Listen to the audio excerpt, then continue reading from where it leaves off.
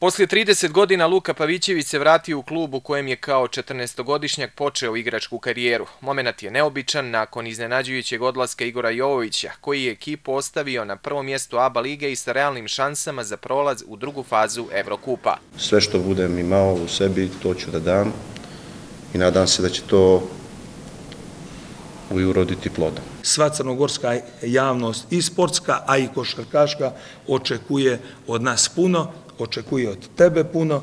Ovaj, sve ono što e, je e, obaveza bila prethodnog trenera, najmanje toliko, a sad u ovom trenutku možda i koji procenat više će biti i tvoje obaveze. Mislim da smo doveli pravo rešenje, pravo povećanje i da će Luka dokazati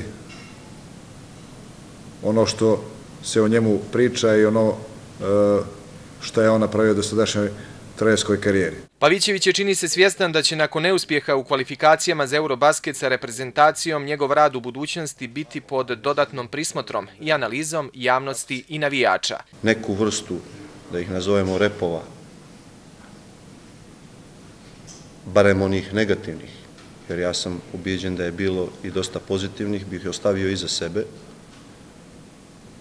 Pošto sam odrastao ovdje, ja znam da se podrška kompletne javnosti ne može očekivati, ali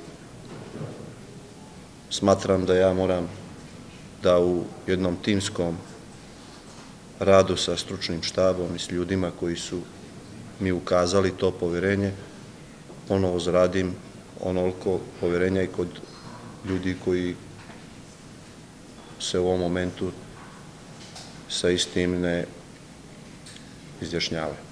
Prvi čovjek kluba naglasio je da sa bivšim trenerom Jovovićem nije bilo nesporazuma, poručivši mu da su mu vrata kluba iz Njegoševog parka uvijek otvorena. To je njegova lična e, odluka. Mi smo pokušali da ga zadržimo.